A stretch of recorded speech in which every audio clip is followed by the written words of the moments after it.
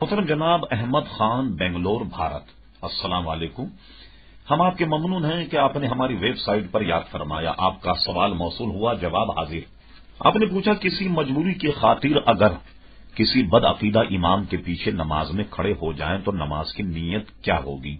سب سے پہلی بات تو یہ کہ پوری کوشش کریں کسی بدعقیدہ امام کے پیچھے آپ نماز پڑھیں۔ نہیں اس لیے کہ حدیث شریف میں حضور صلی اللہ علیہ وسلم نے فرمایا، قال نبی صلی اللہ علیہ وسلم ولا تو سلو ماں ہوں ان کے ساتھ نماز مت پڑھو۔ اور فرما، ولا تو سلو علیہم وہ مرے تو ان پر نماز جنازہ مت پڑھو، اس لیے منع کیا گیا۔